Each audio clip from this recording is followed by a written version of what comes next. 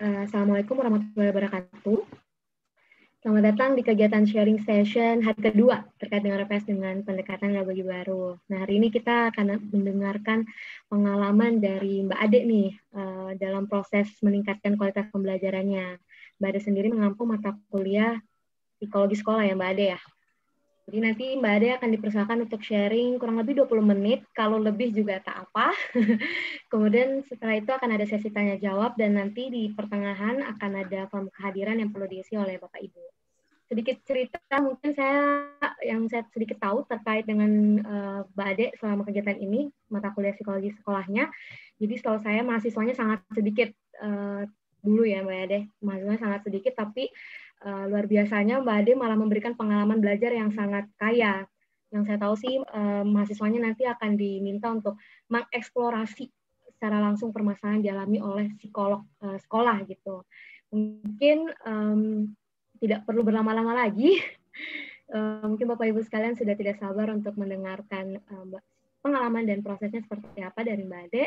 Untuk itu kepada Mbak Ade, waktu dan screen uh, saya persilahkan.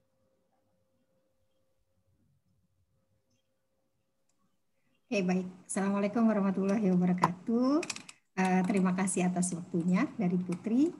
Terima kasih kehadirannya Bu Dekan, Bu Okta, kemudian di sini ada Bu Himi, kemudian ada rekan-rekan juga, ada Pak Kukuh, teman diskusi kita, waktu yang waktunya sama ya Pak ya.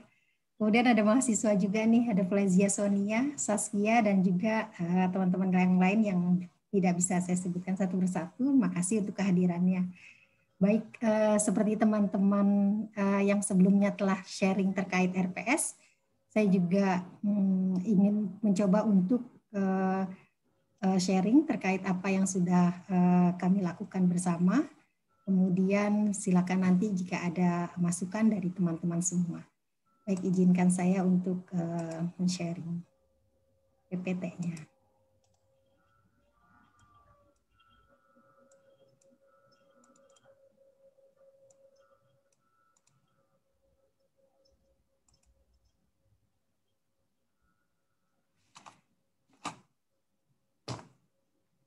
Oke baik, uh, Bismillahirrahmanirrahim. Uh, jadi teman-teman untuk uh, sharing pada siang hari ini, saya mendapat tugas pada semester ini yaitu mengajar mata kuliah psikologi sekolah. Kemudian pada psikologi sekolah ini, um, oh ya, hal yang ingin saya sharing pada siang hari ini adalah terkait dengan karakteristik MK mata kuliah psikologi sekolah. Kemudian ada karakteristik dari mahasiswa, kemudian uh, desain instruksional yang nanti akhirnya saya ambil, kemudian yang terakhir kita akan uh, melihat pengembangan RPS MK psikologi sekolah ini. Nah dari uh, karakteristik mata kuliah untuk uh, psikologi sekolah, uh, jadi psikologi sekolah ini sebenarnya adalah mata kuliah uh, rumpun dari pendidikan. Jadi kalau di psikologi itu ada empat rumpun, ada pendidikan sosial, kemudian uh, ada klinis, kemudian ada PIO, uh, Industrial and Organization.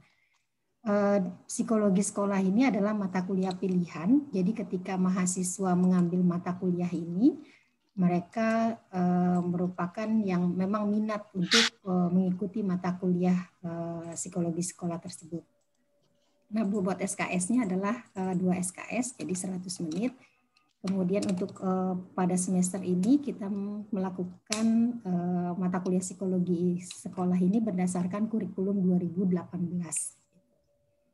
Kemudian untuk karakteristik mahasiswanya, uh, mahasis sebenarnya mata kuliah ini adalah uh, diperuntukkan untuk mahasiswa semester 4 2019. Namun ketika saya lihat siapa saja mahasiswa yang ikut dalam perkuliahan ini ternyata dari semua angkatan ada nih dari 2015, 2016, 2017, 2017 malah banyak ada 15 orang. Kemudian ada 2018 dan 2019-nya ada tujuh orang. Gitu. Jadi total yang mengikuti mata kuliah uh, di semester ini adalah ada 25 orang mahasiswa. Nah kalau lihat dari karakteristik mahasiswanya, uh, dari yang paling rendah ya misalnya 2019 ini saya merasa bahwa eh, anak-anak semester 4 ini tentunya sudah mulai sadar akan tanggung jawab belajarnya gitu. Jadi mereka mungkin di tahun-tahun awal masih masih bingung beradaptasi, tapi untuk di tahun kedua pastinya mereka sudah mulai bisa beradaptasi dengan perkuliahan, kemudian sudah mengerti tugas-tugas apa yang biasanya akan ada di mata kuliah gitu ya. Kemudian kalau dilihat dari kakak-kakak kelas atau yang selain 2019 tentunya uh, mahasiswa ini sudah memiliki keinginan untuk mengeksplorasi bidang ilmu. Jadi mereka mengambil mungkin kekhususan di bidang uh, pendidikan. Tapi ada juga alasan di semester ini yang saya uh, lihat dari mahasiswa yang saya uh, apa saya coba gali dari mahasiswa karena ternyata ada juga sebagian mahasiswa yang mengambil mata kuliah ini mereka saat ini magang di uh, PJJ jadi berkaitan dengan psikologi pendidikan gitu.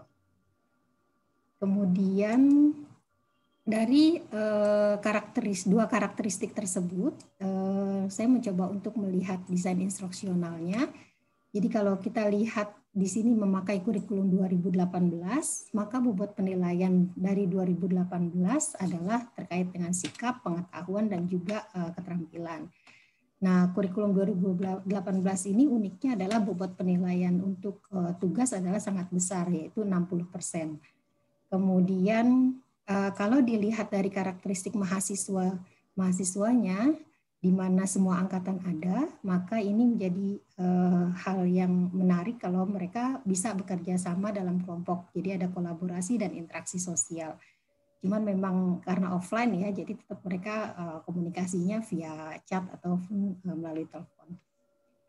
Kemudian kalau kita lihat dari MK pilihan atau MK lanjutan, maka di sini kita lihat kita bisa mengambil bahwa karena ini udah pilihan mereka, maka ada kemauan yang keras untuk uh, bisa belajar atau bisa mengetahui lebih lanjut gitu. Jadi saya mencoba untuk menerapkan terkait dengan student center learning. Uh, dari MK pilihan ini juga uh, saya melihat bahwa individu secara aktif membangun pengetahuan dan juga pemahamannya kalau kita mendasari pada student center learning ini. Nah, di sini berdasarkan uh, karakteristik mahasiswa, di mana ada keinginan, kebutuhan, dan mengeksplorasi bidang ilmu, maka kalau dari uh, sosial konstruktivis, uh, bilang bahwa mendapatkan ilmu tersebut melalui transformasi organisasi, mengorganisasi kembali pengetahuan dan informasi yang pernah didapat. Gitu. Jadi mata kuliah ini kan mata kuliah pilihan sebenarnya adalah lanjutan dari psikologi pendidikan. Maka beberapa informasi atau pengetahuan yang diberikan di psikologi sekolah mau tidak mau ada hubungannya dengan apa yang pernah dipelajari di psikologi pendidikan. Nah, kemudian eh, adapun konten, konten yang akan uh, saya berikan tidak jauh beda dengan uh, apa yang pernah diberikan oleh teman yang sebelumnya mengajar, yaitu materi-materi yang uh, diberikan dalam materi kuliah ini adalah uh, sifatnya aplikatif. Mungkin yang membedakan adalah terkait tugas-tugasnya saja. Nah, ini desain instruksional yang saya tentukan berdasarkan dari karakteristik mahasiswa dan juga MK. Oke, kemudian dari pengembangan RPS dan MK, yang saya akan lihat dari RPS saja langsung ya. Oke,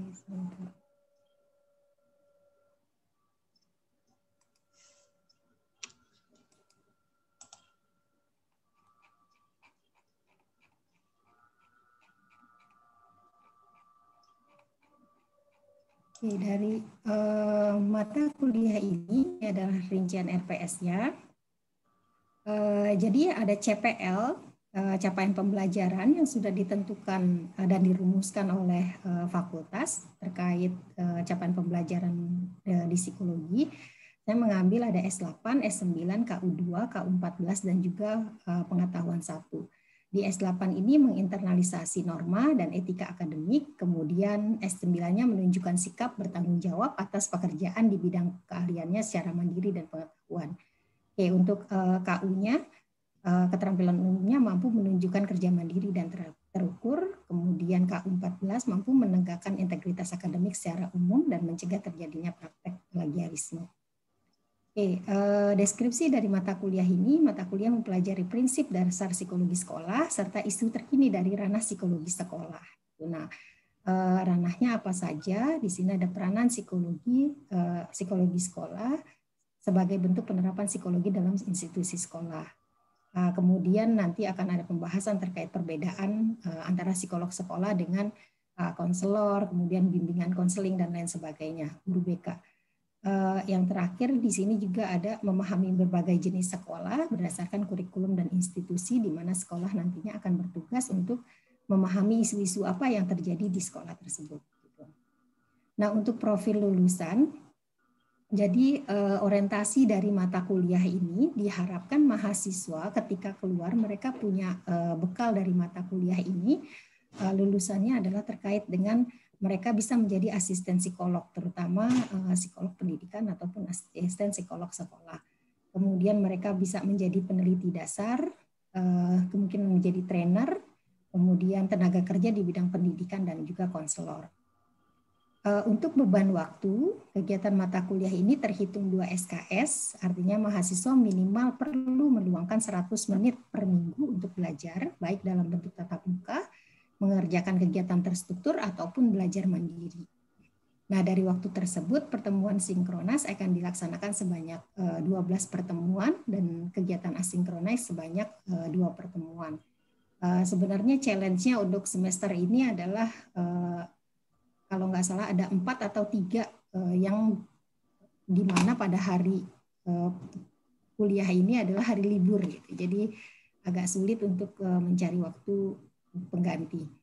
Kemudian berdasarkan perhitungan 2 SKS maka waktu maksimal satu pertemuan adalah dua kali 50 menit. Nah, metode belajar juga akan dilakukan kegiatan asinkronis dan juga sinkronis kegiatan uh, asinkronis ini pendekatannya lebih kepada uh, saya akan merekam uh, PPT dengan uh, suara, kemudian uh, mentransfernya menjadi video. Gitu. Jadi mahasiswa nanti akan mendengarkan, kemudian setelah itu akan uh, dilakukan sebuah tugas. Kemudian uh, untuk kegiatan asinkronis yang lain yaitu mereka mendapatkan proyek untuk bisa mewawancarai psikolog. Nanti detailnya akan saya jelaskan. Kemudian untuk kegiatan sinkronis di sini lebih kepada uh, pengayaan, kemudian ada uh, presentasi dari mahasiswa terkait tugas yang akan saya berikan. Untuk kehadiran mahasiswa, mahasiswa dianggap hadir apabila mendownload materi atau menyelesaikan tugas yang diberikan. Rekap kehadiran dilihat melalui kegiatan yang dilakukan di layar. Jadi ini umum ya, um, uh, seperti yang uh, DPT eh, laksanakan. Komunikasi di luar perkuliahan ada WA group, kemudian bisa juga melalui jaringan pribadi. Pokok bahasan tadi saya bilang terbagi menjadi tiga yang pertama adalah pengenalan terkait uh, psikolog sekolah tersebut, kedua, kemudian kedua ada terkait uh, pembahasan isu-isu karena sifatnya adalah aplikatif mata kuliah ini. Kemudian yang ketiga adalah terkait dengan proyek, yaitu perencanaan, pelaksanaan, uh, dan presentasi dari proyek uh, mahasiswa. Uh, untuk uh, pustaka utama uh, ada satu, kemudian ada untuk pustakaan pengayaan ada uh, tiga yang saya cantumkan dan beberapa uh, jurnal yang uh, saya cantumkan di setiap pertemuan. Media pembelajaran karena sifatnya adalah online, maka tidak jauh dari komputer, uh, tab, dan juga hal-hal yang sifatnya mendukung ya. Kemudian komponen untuk penilaian ini, seperti yang tadi saya bilang bahwa komponen penilaian 60% ada di tugas, maka dibagi menjadi tugas individu 15%, uh, kemudian ada tugas kelompok. Oh sorry ya, ini mestinya ada uh, udah termasuk ya. Ada UTS 10, UAS 10 dan juga sikap 5%. Okay. Kemudian uh, untuk tugas individu ini mahasiswa akan diberikan sebuah kasus yang berkaitan dengan topik yang telah dipelajari. Berdasarkan kasus tersebut, mahasiswa diminta untuk menggambarkan, menganalisa, dan memberikan solusi terhadap permasalahan yang ada pada kasus tersebut. Nah, jadi kasus ini seperti mereka akan merangkum dari apa yang sudah mereka dapatkan dari keseluruhan pertemuan mata kuliah. Jadi akan diberikan di pertemuan ke-13. Tujuan yang ingin dicapai dari tugas ini adalah mahasiswa mampu menganalisis permasalahan yang terjadi seputar isu-isu psikologis yang terjadi di sekolah. Nah, kemudian untuk tugas kelompok atau bedah jurnal, di sini Eh, bentuk tugasnya adalah mahasiswa akan diberikan satu atau dua buah jurnal. Eh, saya melihat dari kerumitannya dan juga eh, dari panjangnya jurnal tersebut, maka itu yang menjadi pertimbangan pertimbangan kapan saya harus memberi satu atau kapan saya harus memberi dua. Walaupun nanti ketika di makalah mereka akan menambahkan lagi dari sumber-sumber yang lainnya. Untuk rincian tugasnya, mahasiswa menganalisis permasalahan yang diangkat dalam dua jurnal tersebut, menulis dalam bentuk makalah dan mempresentasikannya di pertemuan kelas. Ini bedah jurnal. Kemudian yang proyek yang terakhir adalah eh, wawancara psikolog. Nah, bentuk tugasnya adalah mewawancarai, kemudian mereka harus presentasikan dan membuat makalah. Eh, rincian tugasnya, mahasiswa mewawancarai seorang psikolog sekolah dan menggali peran dan fungsi permasalahan yang dihadapi seorang psikolog sekolah. Gitu. Eh, ini uh, tugas kelompok yang bedah jurnal dengan wawancara psikolog akan menjadi satu topik. Jadi ketika mereka mendapatkan topik misalnya tentang uh, kesulitan belajar atau ke tentang ABK, maka mereka akan konsentrasi mewawancarai psikolog selain dari menggali terkait uh, fungsi tugas dan lain sebagainya, mereka juga berusaha untuk menggali permasalahan yang khusus setelah mereka baca di uh, bedah jurnal ini. Gitu. Jadi nanti setiap kelompok akan berkonsentrasi pada permasalahan yang berbeda-beda. Kemudian uh, untuk penilaian juga ada UTS dan UAS. Nah, untuk plagiarisme mahasiswa ditem, uh, apabila mahasiswa ditemukan melakukan atau berbuat plagiarisme dengan bobot uh, maksimal 25%, maka tugas tersebut baik individu maupun tugas kelompok akan dikurangi poinnya sebesar 10 poin. Uh, tadi saya mendapat insight nih dari yang uh, presentasi Pak Fatur ya, karena selama ini saya uh, mengecek sendiri gitu ya, walaupun melalui uh, apa alat uh, yang gratisan gitu ya. Uh, kalau dari Pak Fatur tadi saya belajar bahwa mahasiswa mengumpulkan tugasnya sudah dengan uh, cek plagiarisme yang mereka lakukan gitu. Jadi cukup eh, sebenarnya cukup meringankan beban dosen untuk mengecek satu-satu. Gitu. Jadi mau tidak mau tidak akan ada lagi nih eh, poin penilaian sebesar 10 poin ketika mahasiswa mengumpulkan tugas sudah dengan eh, apa mengattach hasil cek plagiarismenya yang di bawah 25 persen gitu. Mungkin ini yang akan saya terapkan. Jadi uh, bukan hanya mengumpulkan makalah, tapi juga hasil cek plagiarismenya. Dengan demikian maka akan uh, meringankan uh, tugas dosen ya, menurut saya untuk mengecek satu persatu tugas mahasiswa. Apalagi jika kelasnya mesin kelas besar. Oke, kemudian ada klarifikasi perbaikan nilai. Nah, klarifikasi perbaikan nilai ini uh, biasanya saya melakukannya di akhir uh, perkuliahan gitu atau ketika UAS sudah selesai. Jadi klarifikasi nilai dapat dilakukan dua hari sebelum nilai diinput dalam siskap. Jadi eh, saya akan mengupload di WhatsApp group dengan tanpa nama gitu ya, cuman eh, cuman NPM-nya saja. Kemudian pada masa tersebut eh, dalam waktu dua hari ini mahasiswa diberikan kesempatan untuk mengklarifikasi nilainya.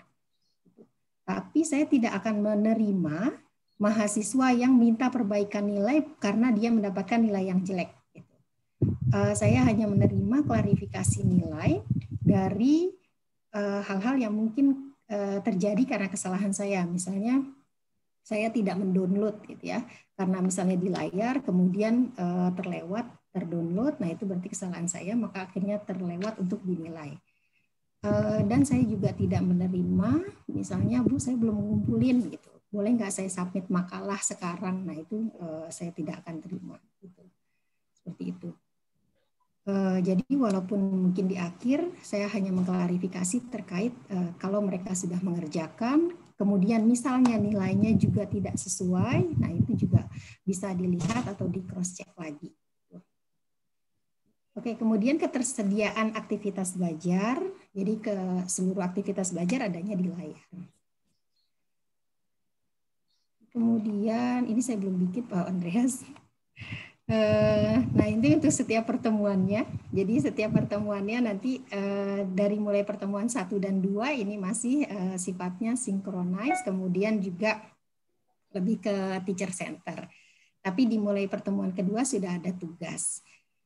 Dari mulai pertemuan ketiga sampai ke pertemuan berapa ini? Ke-12. Nah, di sini mulai uh, ada tugas terkait uh, mereka bedah jurnal gitu. Sebelum bedah jurnal dilakukan, biasanya saya ada bridging dulu dengan memberikan uh, kasus gitu. Memberikan kasus dulu, kemudian uh, setelah itu uh, brainstorming terkait dengan uh, permasalahan yang dihadapi Eh, kemudian setelah itu baru mahasiswa melakukan eh, apa presentasi ya. Setelah presentasi kemudian ada diskusi, baru setelah diskusi saya eh, akan memberikan pengayaan. Nah, dari pengayaan ini berdasarkan dari PPT yang akan saya berikan. Maka PPT ini saya upload terakhir gitu di di layar. Jadi setelah kelas selesai baru saya upload PPT tersebut. Yang saya upload pertama kali dari mulai sekarang adalah tugas-tugas terkait uh, apa nih terkait dengan jurnalnya. Jadi jurnal-jurnalnya sudah saya upload uh, uh, dari mulai pertemuan 2 sampai ke 12, maka mahasiswa punya waktu untuk uh, bisa membaca jurnal tersebut. Nah, di pertemuan 13 di sini akan dilakukan uh, asinkronis Eh, jadi di pertemuan ini saya akan memberikan kasus kepada mahasiswa, kemudian mahasiswa akan menganalisa. Di sini adalah tugas individu. Jadi eh, terkait pemahaman keseluruhan apa yang sudah isu-isu yang sudah kita bahas dari mulai pertemuan 3 sampai pertemuan 12. Nah, di pertemuan 13 ini juga nanti akan ada pengumpulan eh, tugas terkait saya akan mengecek format wawancara atau draft wawancara yang akan mahasiswa tanyakan kepada uh, psikolog gitu. Jadi saya akan mengecek apa saja yang akan mereka tanya dan lain sebagainya. Mungkin uh, saya bisa memberikan masukan atau bisa uh, mungkin memberikan masukan pertanyaan apa yang bisa lebih uh, menjurus kepada permasalahan yang akan diangkat. Nah, di pertemuan 14 ini mahasiswa akan melakukan asinkronis juga, tapi mereka tugasnya adalah mewawancarai psikolog sekolah. Sebenarnya tidak terikat hanya di pertemuan 14, jadi mereka juga uh, bebas kapan uh, tergantung dari kapan psikolog sekolahnya ini bisa uh, diwawancarai gitu. Cuman untuk perencanaan RPS ini dialokasikan di minggu ke-14.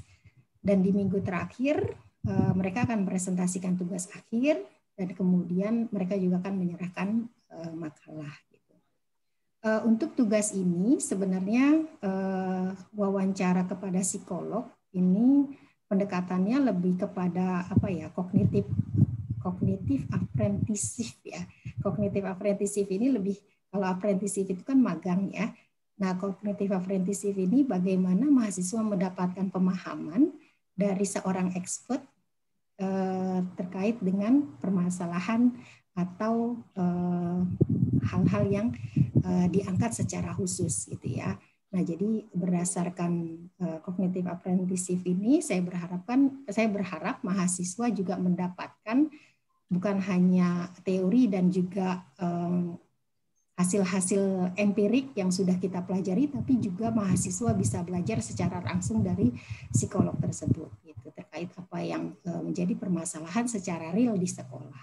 Dan eh, solusi yang mungkin pernah dilakukan oleh psikolog itu yang menjadi hal yang mahal mungkin buat mahasiswa untuk eh, bisa mengetahui. Oke, demikian Bapak Ibu yang bisa saya, saya sampaikan untuk penilaian untuk penilaian sama ya sebenarnya sudah ada di psikologi terkait rubrik penilaian. Jadi saya yang mengambil yang diberlakukan di psikologi. Uh, ada rubrik penilaian makalah. Di sini ada tiga hal yang dinilai, ada konten, kemudian ada struktur, dan juga ada penulisan. Gitu. Uh, ada komponen-komponen penilaiannya, ketentuan-ketentuannya seperti apa. Kemudian untuk presentasi, uh, di sini ada ada beberapa komponen juga. Nah kemarin dapat masukan dari Pak Andreas bahwa Eh, ada juga penilaian terkait eh, bridging ya, bagaimana mahasiswa bisa memulai eh, presentasinya tersebut gitu. Apakah presentasi udah langsung ngomong aja tanpa ada sounding sounding apa yang mau dibahas gitu ya, permasalahan apa gitu ya. Nah itu juga diminta untuk dimasukkan dalam penilaian. Itu saja yang bisa saya sampaikan. Terima kasih sudah mendengarkan. Assalamualaikum warahmatullahi wabarakatuh. Waalaikumsalam. Terima kasih banyak Mbak Ade atas sharingnya. Jadi desain instruksionalnya didesain berdasarkan karakteristik mahasiswa yang Mbak Ade ya, sama seperti dosen-dosen lainnya. Nah mungkin dari sini eh, Bapak Ibu sekalian, adakah yang ingin memberikan tanggapan atau masukan atau bertanya kepada Mbak Ade? Dipersilahkan.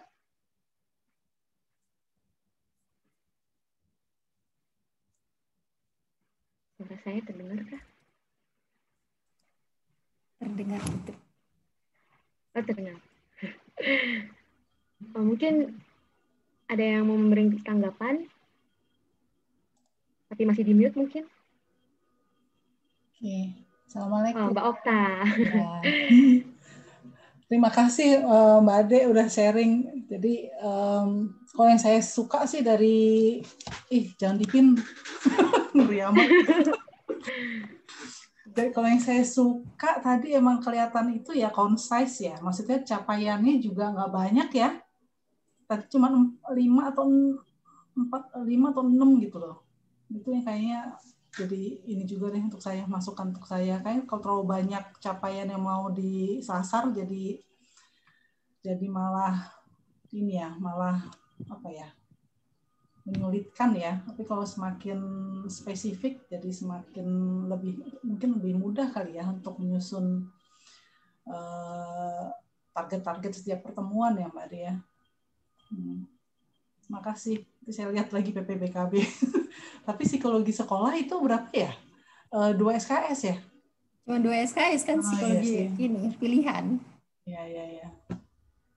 PPBKB ada enam, kan enam SKS. banyak. Oke, terima kasih. Sama-sama. Nah, menarik juga karena di mata kuliahnya Mbak ini diikuti empat generasi ya, ya deh. Jadi berbagai macam karakter di dalamnya. Nah, hmm. uh, ada lagi kah dari Bapak Ibu sekalian yang ingin ditanyakan ke Mbak Ade? Mumpung Mbak Ade pakar pendidikan, psikologi pendidikan. Kesempatan lah. Boleh nanya yang lain juga kok nanti ya, Putri ya. Betul. Eh jadinya konsultasi, bukan bertanya. Mumpung psikolog, Pak. Ini Mbak Ade tentang tugas. Ya. Bukannya dalam borang akreditasi itu diwajibkan tugas itu minimal 20% ya? Bobotnya. Maksudnya 20% gimana, Pak? Jadi kalau harus dalam setiap mata kuliah itu harus ada komponen yang namanya tugas terserah apa dan kemudian bobotnya minimal 20% bobot penilaiannya. Kalau di kami kurikulum 2018 eh, bobot penilaian tugas 8, 60 eh, Pak. Oh jadi boleh total begitu ya nanti pas lagi di borang nggak masalah juga. Eh pas yeah. lagi akreditasi nggak masalah. Tapi kan dari kemudian kita rinciin tadi dari yeah. tugas eh, 60 itu apa saja dipecah dipecah kayak gitu juga tidak akan menimbulkan masalah ketika akreditasi kan ya. Konfirmasi ini saya nggak pernah ikut akreditasi soalnya dan audit. Uh, kemarin sih yang ditel, yang dilihat di audit hmm. cuman bobotnya 60 persennya saja. Oh gitu aja udah cukup ya? Uh, sesuai atau tidak. Masalah dipecah uh, berapa berapanya itu mungkin ter apa ya tergantung dari siapa yang mengaudit kali ya. Oh. Mereka mau melihat komponen-komponen itu atau tidak. Ada faktor keberuntungan berarti. Hmm. Hmm. Tapi intinya adalah sesuai dengan RPS-nya misalnya 60% dan 60%. Gitu. Terima kasih Mbak Ade. Oke, sama-sama. Masih ada PR nih Pak ya, mungkin uh, enggak bagan. Ya. Assalamualaikum Bu Ade. Ya, silakan. Oh, Odi. Uh, menyambung dari menyambung dari itu konfirmasinya Pak Andreas tadi itu nanti uh -huh. kalau tugas 60% itu berarti nanti yang masuk ke sisakat itu komponennya namanya tugas ya, bukan yang rincinya itu. Oh, yang masuk akadnya udah gak, udah di ini Bu, udah dirinci juga. Oh, kan gitu. ada nanti eh, di ini kan ada dari 60 itu saya bagi dua ya, ada bedah jurnal sama uh, wawancara gitu. Nah, di bedah jurnal ini kan juga ada komponen penilaian tadinya saya bilang makalah, tapi kemudian saya lihat lebih kepada komponen-komponen apa yang akan mereka uh, ambil untuk uh, kemudian untuk wawancaranya gitu, poin-poin wawancara. Nah, itu dari bedah jurnal ini. Kemudian eh, ada juga yang satu lagi tugas wawancara psikolog dari hasil wawancara ini nanti mereka akan menulis eh, dituliskan melalui makalah kemudian dipresentasikan gitu. Jadi eh, di situlah dipecah-pecah lagi komponen-komponennya. Oh, oh jadi eh, nama komponennya udah langsung ininya ya bedah jurnal, makalah hmm, dan sebagainya makalah. gitu ya. Ya, nah jadi mungkin bagi dua uh, lagi makalah dan presentasi, kemudian untuk wawancara dibagi dua lagi jadi makalah dan juga presentasi. Oh, tapi mungkin kalau pas akreditasi, hmm. uh, pas di mungkin kalau pas akreditasi pas di apa ya dipilih gitu ya, misalkan hmm. salah satu mata kuliah yang dipilih oleh asesor adalah kuliahnya Bu Ade, bisa jadi yang menjelaskan gitu ya kalau komponen ini ditambah ini tambah ini tuh jadinya tugas gitu. Jadinya kan total uh, lebih dari 20% hmm. gitu kali ya. Gitu. Yeah. Jadi di komponennya nggak ada kata-kata tugas, tapi sebenarnya itu bentuknya tugas gitu ya. Saya kira nggak boleh loh. Saya hmm. pikir, saya pikir uh, harus namanya tuh harus ada komponen tugas. Nah di tugas itu uh, isinya apa aja, apa yang dinilai, ya dosen yang punya gitu. Mau gabungan dari mana aja gitu. Seperti itu. Soalnya saya juga di mata kuliah saya sekarang itu eh, juga besar sih komponennya, tapi satu doang, namanya case based design dalam hmm. kurung setara tugas. Jadi tapi yang di yang apa yang ditulis itu semuanya di di RPS maupun di sisakat. Jadi biar kata tugas itu muncul juga gitu. Tapi itu saya satu sih. Kalau Bu Ade kan pecah-pecah ya, bingung juga ya. Gimana caranya kalau mau munculkan kata tugas di komponen. Ya saya cuma kepikiran itu sih. Saya pikir harus ada kata tugas di komponen, di salah satu komponen. Ya, baik. Mungkin kalau misalnya harus dirubah pun uh, nanti tinggal dirubah aja di RPS, di dipecah-pecah terkait ini 60% apa aja gitu tugasnya. Hmm, iya. Oke, aku ada pertanyaan kedua nih sebenarnya. Oke, silakan. Jadi kan eh, di kuliah saya tuh basis data lagi apa ya sinkronusnya tuh diskusi gitu. Jadi mereka saling berpasangan berdua-berdua dimasukkan ke breakout room terus uh, mereka um, apa namanya saling mereview tugas pasangannya gitu. Diberikan waktu 30 menit, kemudian balik lagi ke main room, terus kita pilih pasangan yang untuk presentasi atau mereka bisa mengajukan diri. Nah, eh, jadi gimana ya? Kita sih sebenarnya saya hmm, apa ya?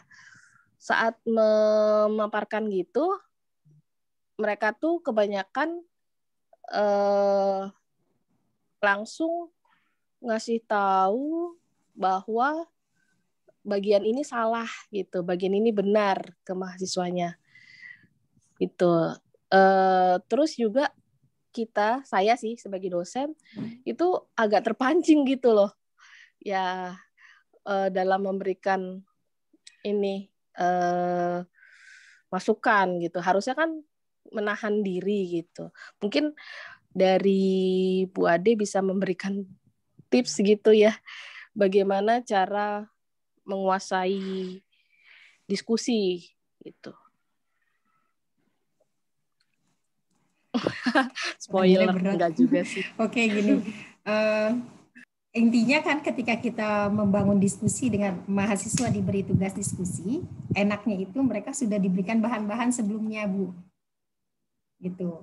Nah, ketika oh, iya. mereka sudah oh. udah diberikan. Sudah Jadi, mereka sudah mengerjakan tugas, mereka sudah ah. mengerjakan tugas, kemudian tugasnya itu saling dioper ke satu sama lain, terus mereka periksa punya temennya gitu. Nah, sekarang uh, biar komponennya merata, kalau menurut saya sebaiknya ada apa ya? Ada guidelines dari Bu Herika uh, apa saja nih yang komponen bisa dinilai. Misalnya kayak kalau makalah, oh dari introduction-nya, introduction yang uh, baik itu komponennya apa saja gitu. Kemudian Uh, ini masukan saya ya. Kemudian iya. kalau dari isi, misalnya uh, isinya komponennya apa saja yang yang dinilai gitu, sesuai atau tidak. Gitu. Uh, kemudian misalnya dari kesimpulan apa saja kesimpulan yang kemudian bisa mendapatkan nilai lebih. Nah, ketika mahasiswa tahu bahwa uh, dari satu tugas tersebut komponen-komponen apa yang harus dinilai, maka uh, mereka tidak uh, ibaratnya tidak ngeblank gitu cuman bisa eh, cuman misalnya cuman ngejawab oh uh, tulisannya bagus tulisannya banyak panjang gitu kan. Atau oh bahasanya dan lain sebagainya gitu. Jadi nggak uh, nggak mengarah ke mana-mana gitu untuk menilainya. Tapi mereka sudah punya guidelines yang uh, Bu Erika berikan apa saja komponen yang harus dinilai. Kalau guideline alhamdulillah udah ada juga uh gitu. Uh, yang ini yang saya tanyakan itu gini apa uh, apa ya bagaimana?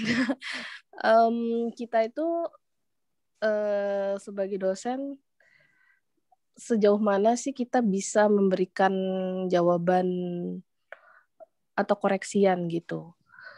Uh, soalnya kayaknya mereka itu seperti memancing kita yang benar apa sih bu? Gitu. Jadi saya tuh pengen uh, okay. jadi kan mereka tuh bilang di sini misalkan di nomor satu ada dua yang salah gitu.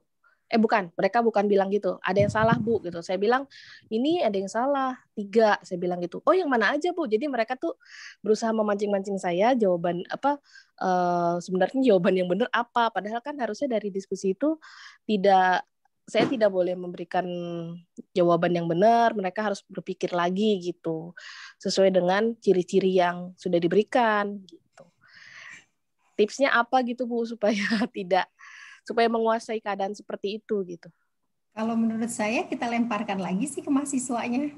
Menurut Kalau menurut kamu yang mana? Karena pasti iya. beda-beda jawaban antara satu dengan yang lainnya gitu. Iya sih Bu. Uh, tapi kayaknya Pak Andreas sudah punya jawaban deh. Iya, kemarin kan saya jadi curhat ya, padahal harusnya buat sesi sesi Jumat ya. Jadi kemarin itu ada satu saya bilang menurut kamu gimana? Terus dia bilang menurut saya ini benar bu. Terus yang lain banyak yang bilang benar padahal harusnya itu nggak benar gitu. Terus saya jelaskan kalau begini begini begini terus mereka mendebat saya. Jadi itu agak alat sih untuk yang itu gitu. Jadi beda dengan kelas yang pagi. Kelas yang pagi itu terima-terima aja kayak gitu. Jadi wah ini karakteristik kelas yang pagi sama yang siang berbeda nih.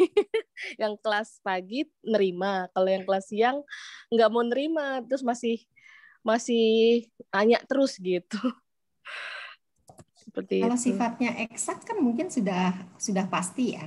Tapi kalau misalnya sifatnya adalah opini, nah itu yang yang mungkin setiap orang pasti punya pendapat yang berbeda-beda. iya, mm -mm, benar. Iya benar. Mau dibantu apa Pak Andreas?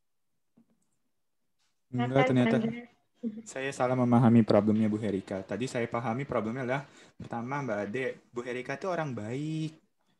Terus pada dasarnya dia tuh teacher center. Jadi kalau ada mahasiswa nanya, dia maunya jelasin dari A sampai Z. Iya, itu dia maksud saya. Saya tidak apa kurang bisa menahan untuk memberikan jawaban yang benar gitu. Jadi, aduh saya tuh gemes pengen ngasih tahu langsung jawabannya. Padahal uh, saya kan saya berdua tuh sama Bu Maya. Bu Maya bilang jangan memberikan jawaban gitu. Nah. Tapi saya tipsnya tuh bagaimana gitu. Kemudian ada masalah juga dalam materi yang di konteks kuliahnya Bu Herika, ini berkaitan dengan desain. Kayak kita hmm. nulis skripsi, itu kan nggak ada jawaban yang benar ya. Yang ada adalah justifikasinya apa, terus jawabannya apa. Jadi ya sebenarnya kalau mahasiswanya ngotot itu bagus. Dia Iya. merasa dia punya keyakinan. Cuman Iya. Bu Herika kan teacher center. Dalam jiwa teacher center itu ada gua selalu benar sebagai dosen bahwa gua adalah sumbernya. Itu juga kadang-kadang mempengaruhi kita kan ketika lagi berinteraksi dengan mahasiswa. Benar nggak Bu Herika? Iya. Jadi Jadi Bu memang Herika, harus Bu Herika hanya ingin membantu mahasiswanya yang kelihatannya bingung. Nah, Ya nggak Bu? ada Soalnya dua di sini isunya Bu. soalnya saya tuh saya dilawan mahasiswa sekelas gitu. Tuh. Semuanya bilang perhatikan. jawaban itu benar, saya doang yang bilang itu salah gitu. Saya udah kasih kosakatanya. alasannya, tetap mereka tidak terima. Kosakatanya adalah melawan. Nah, itu dia dalam dalam dalam permasalahan dalam dalam konteks desain kita nggak bisa ngasih tahu justifikasi sampai mereka menemukan justifikasinya itu sendiri sih sebenarnya Jeng. Iya. Makanya Iya sih. dalam dalam acara ini juga yang peningkatan kualitas pembelajaran kan saya nggak pernah ngasih tahu apa-apa, cuman ngasih usulan, kemudian dosen mau terima apa enggak itu urusan dia. Tapi kemudian kita debat di situ untuk memastikan justifikasi yang dibuat dosen itu memang valid. Karena pada dasarnya desain dan yang tahu, yang merasa paling tahu tentang konteksnya adalah dosennya.